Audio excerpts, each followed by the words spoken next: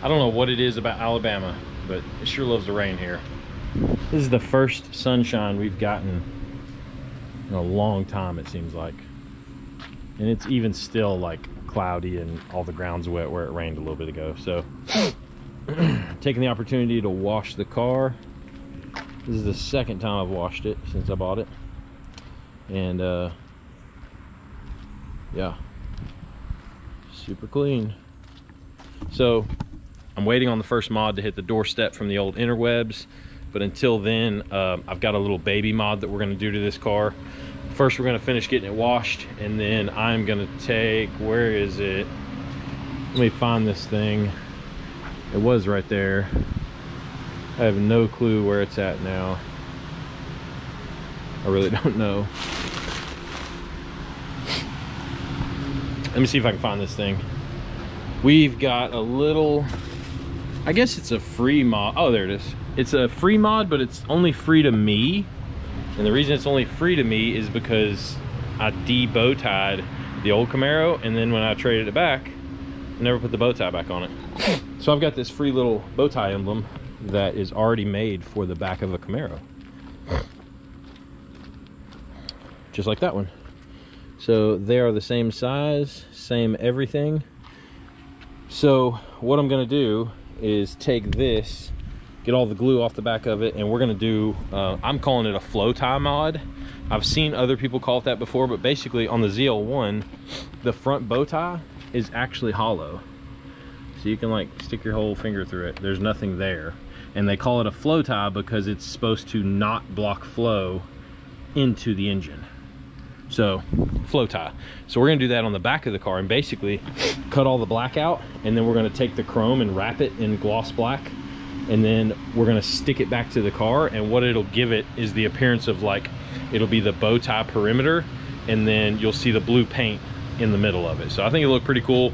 Just something a little bit custom and getting rid of the chrome on the car because it's, uh, besides the front flow tie, it's pretty much the only chrome that's on the car.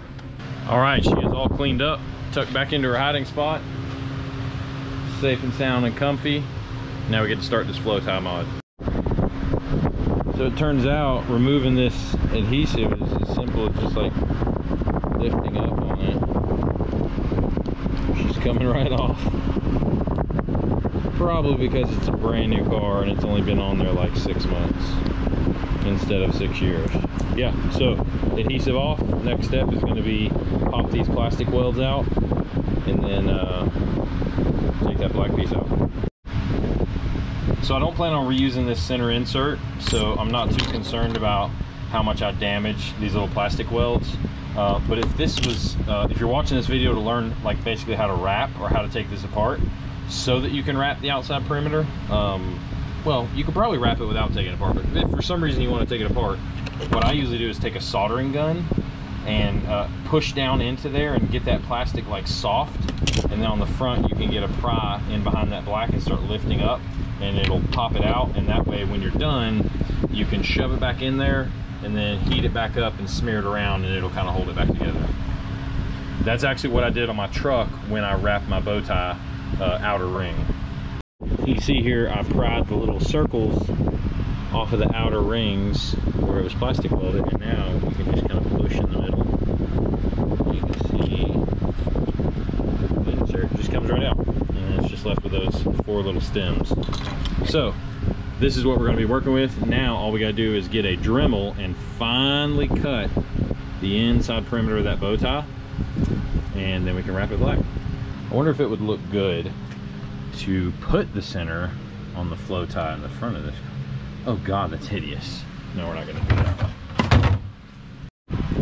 This little bad boy right here caused all that damage. So we started off just pre-drilling out the holes that were already there. And then I decided to open up some more holes. It's the quickest way to remove material, in my opinion. Um, the only problem I just realized is my Dremel doesn't have a cutoff disc. I went through them all, so I've got to figure out another way to cut these clean lines. Maybe I'll just have to go to the store and get a couple Dremel bits. But until then, we kind of got a holding pattern, so let's get that taken care of. Okay, so I don't know if you can see it, but this bit on the Dremel, which is like a side drilling bit, is actually working pretty good here. Man, my GoPro will not focus for anything. It's actually working pretty good to get a straight line. The only thing we got to do is come back with a razor blade and just clean the edges up. Okay, so after tons of this, that noise, that noise definitely gets annoying. After tons of that, a little bit of time and a razor blade, bam, we have our flow tie. So now I've got to decide, do I want to wrap that or do I want to paint it? I'm not sure yet. Okay, after a long deliberation, probably about 30 or 40 seconds, I decided that I'm gonna paint it and I have got it all scuffed up. I don't know if you can see the scratches or not. Got it all scuffed up, got all the edges softened, uh, no burrs or anything sticking out. And so now we can prime it and paint it. Okay, we got the flow tie primered and we got it sanded down here. Uh, I, I primered it and then sanded it after I primed it just to remove any high spots or kind of overspray or, or like roughness that the, the primer adds to it. So now it's time for the paint.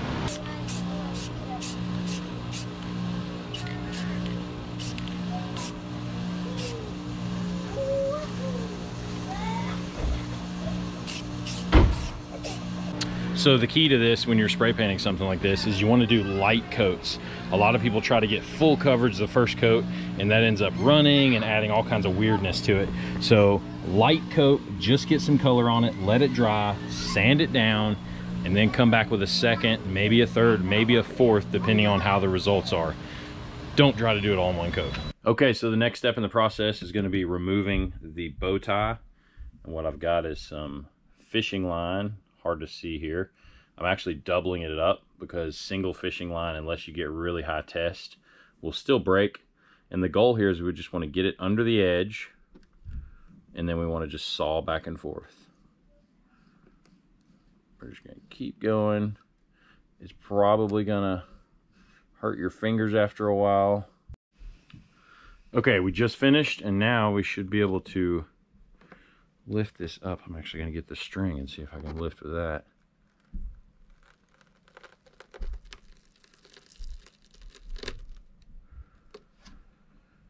Now the most important part here, you don't want to pivot it too much because what will happen is you'll lift on one side and the other side will dig into the paint. There we go. So I just kind of broke it loose, both sides.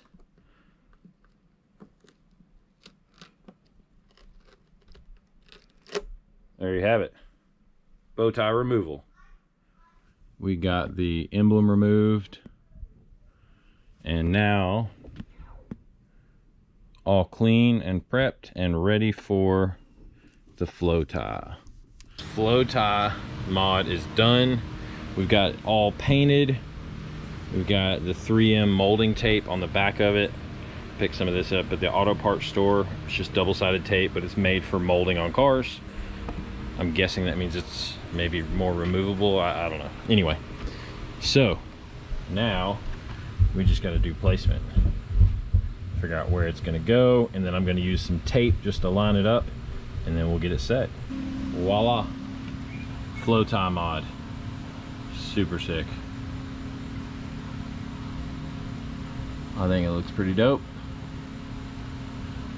And it's like a peek through for your factory color and it kind of has a resemblance to the front actual flow tie which is from the factory. Right here. All right it's a bow tie but you can like stick your fingers in it. So there you go guys.